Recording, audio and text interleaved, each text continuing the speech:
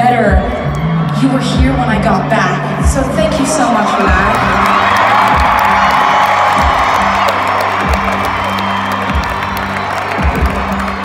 You know, while I was away, um, I could always check in with you guys, like online and stuff, and see what you guys were doing, and look at your pages, look at your Tumblr, look at your Instagram, look at your Twitter, and see what you guys were up to. And when I went through difficult times, like hard times, where I felt completely alone, I could always I, I could always look and see what you guys were saying, and a lot of the time you were saying like, "Oh, I've been through this too.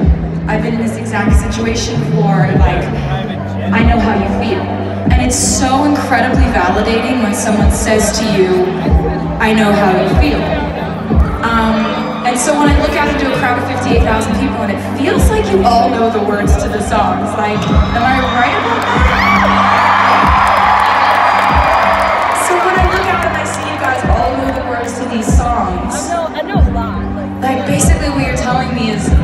know how you feel. Like you, we felt the same way about these things.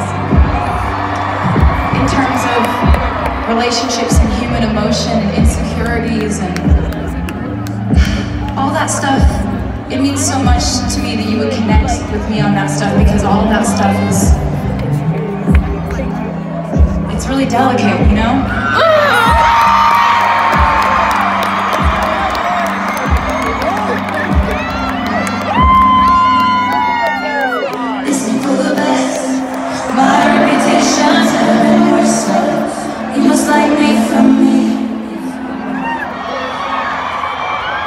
Can